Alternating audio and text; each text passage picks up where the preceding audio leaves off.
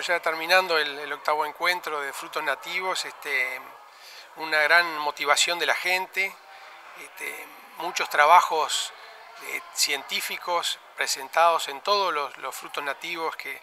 este, que se están manejando hoy por hoy en el tema de, investigación y docencia, sobre todo en, Guayabo del país, se pueden ver los adelantos, con estos trabajos se pueden ver los, adelantos este, que se logran en, los diferentes trabajos, son trabajos de, los dos últimos años y, la verdad que impresiona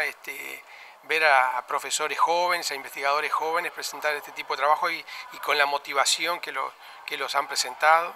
También otra cosa que nos deja es, este, es una satisfacción haber compartido también con, con colegas brasileños, argentinos, que están este, motivados en estos temas y trabajando también en estos temas.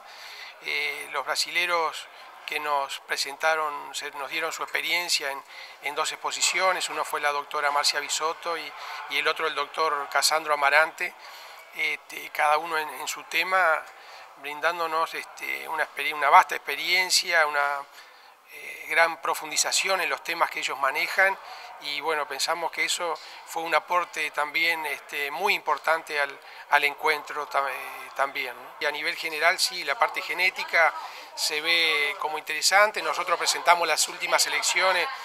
o las primeras elecciones que se están inscribiendo en INASE y que se van a empezar a, liberar a los viveros y, y bueno, eso también va a ser un cambio importante donde el productor va a poder exigir en los viveros este, plantas clonadas, plantas eh, para lograr una producción uniforme, una calidad de fruta uniforme y a partir de ahí eh, poder contar con, mejor fruta y con mayor cantidad de fruta para, el mercado y de ahí al consumidor. También se dejó en claro el hecho de que la gente cada vez más conoce estos frutos nativos, un poco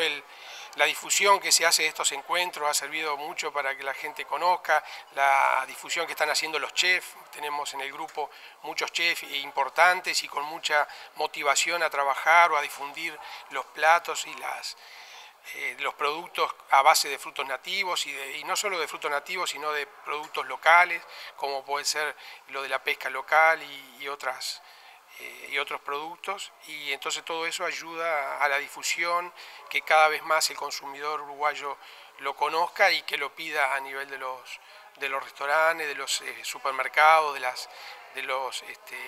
almacenes que se, donde se vende la fruta, ¿no? cada vez, y más en este tiempo que estamos en, en plena cosecha de, de, guayabo y arazá, este, la, gente pregunta ya por qué quiere comprar fruta, dónde la puede conseguir, etcétera.